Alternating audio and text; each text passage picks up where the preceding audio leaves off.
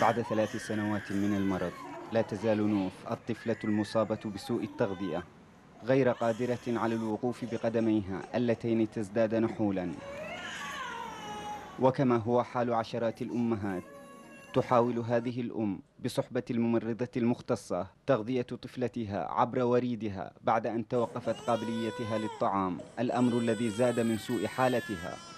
التهاون في مرض سوء التغذية وعدم الفهم وعدم إعطاء الأهمية الكبيرة لهذا المرض آه، يترتب عليه مضاعفات كثيرة آه، منها الأمراض المزمنة منها الأمراض المتكررة آه، كذلك فقر الدم هبوط السكر أمراض كثيرة ممكن تؤدي إلى الوفاة.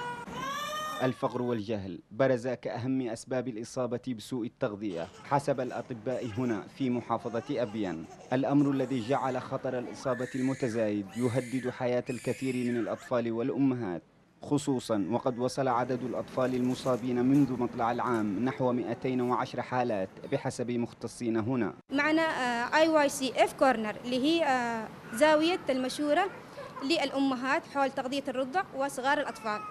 نعلمهم كيف يقوموا بتغذية أطفالهم آه، حول الرضاعة الطبيعية ونعلمهم كيف ما هي الممارسات الصحيحة الجيدة.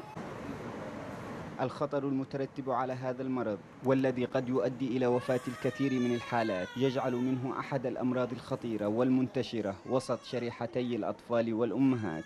لطفي إبراهيم قناة بلقيس.